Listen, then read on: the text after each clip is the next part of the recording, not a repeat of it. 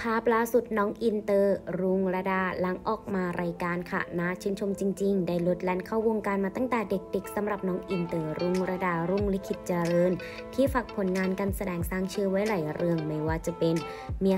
2018 อรุณา 2019 ไลลาธิดายักษ์ ซึ่งปัจจุบันโตเป็นสาววัย 11 ขวบแล้ว สวยวันสวยคืนจนตอนนี้ได้ขึ้นแท่นซุปตาร์ตัวน้อยของช่องวันไปแล้วล่ะค่ะ ล่าสุดน้องอินเตอร์ได้มาเปิดใจในรายการคุยแซบโชว์พร้อมเคลียร์ประเด็นข่าวเรื่องหนุ่มเข้ามาจีบในวัย 11 ขวบจริงหรือไม่ค่ะโดยน้องอินเตอร์เผยว่าก็จะมีเพื่อนผู้ชายมาแกล้งบ้าง แต่เรื่องจีบยังไม่ค่อยเห็น เพราะอาจจะเป็นหนูไม่ค่อยได้ไปโรงเรียนด้วยค่ะในขณะที่น้องอาร์ตี้บอกว่าอยากให้พี่สาวมีแฟนตอนที่เรียนจบมากกว่ายอมรับว่าค่อนข้างห่วงพี่สาว ซึ่งพอๆกับคุณพ่อกันเลยทีเดียวค่ะ